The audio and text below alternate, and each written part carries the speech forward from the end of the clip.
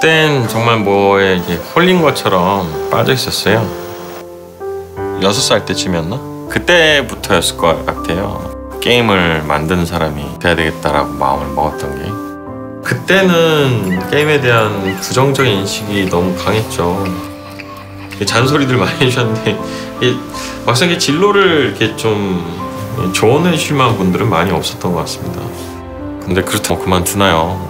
제 좋아하는 일 이거밖에 없는데 뭐 일단 무작정 부딪혀 보자 이런 생각으로 게임 회사에 들어가게 됐습니다. 십몇 년 정도를 일을 하다 보니까 내가 만들고 싶은 게임을 개발해보고 싶다 이런 생각이 들어서 창업을 결심하게 됐습니다. 근데 뭐 어렵더라고요. 첫 번째 출시한 게임 실패했고 두 번째 게임 아예 출시도 못하게 됐고요. 세 번째 게임 개발할 때 그때 회사 잔고가 2,330원.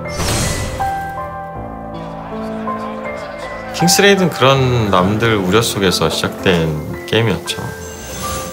그러다 이제 기회가 찾아왔어요. 출시 초기에 어, 구글 플레이 스토어 메인 창에 소개됐고 전 세계 수많은 유저들에게 알릴 수 있는 기회가 됐습니다. 이제 이후로도 꾸준히 그 유저들이 얼마나 들어오고 있고 어떻게 결제하고 왜 나가고 하는 것들 그런 통계적 데이터들을 구글 플레이 팀으로부터 좀 제공받아서 꾸준히 저희가 앱을 보완해 나갔습니다.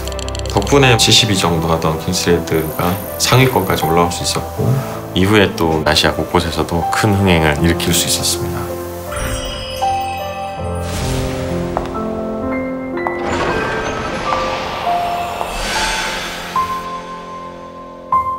새로운 걸 한다는 거는 당연히 두려운 것 같아요. 흔들릴 수 있죠. 다들 그런 슬럼프들이 있어요. 그래도 스스로의 가능성 한번 믿어보세요. 좋은 기회는 또 의외로 그런 과정 중에 또 찾아오기도 하거든요.